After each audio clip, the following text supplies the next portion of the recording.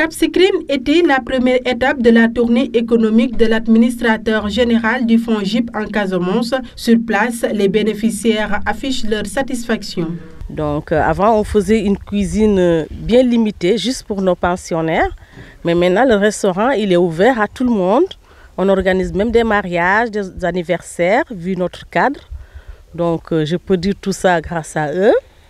On a refait les chambres aussi on a, on a changé parce que après 10 ans, je veux dire, euh, d'investissement, les clims et tout ça, il faut tout changer, le matériel.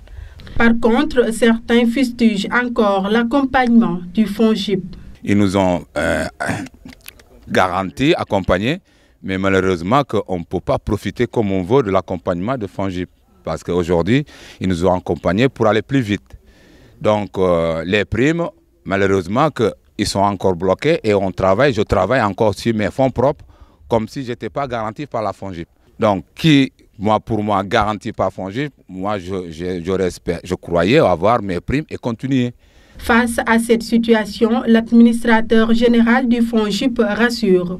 C'est vrai que c'est difficile pour lui, c'est de la trésorerie. En tout cas, on va informer le bureau de mise à niveau de, de ce qu'il a fait. On va le réaliser pour que rapidement qu'il puisse avoir ses primes en plus de son financement pour pouvoir réaliser ses autres ambitions. Rappelez que depuis six ans, Giguinchor a bénéficié de 2,5 milliards de francs CFA de financement du fonds GIP dans différents secteurs d'activité.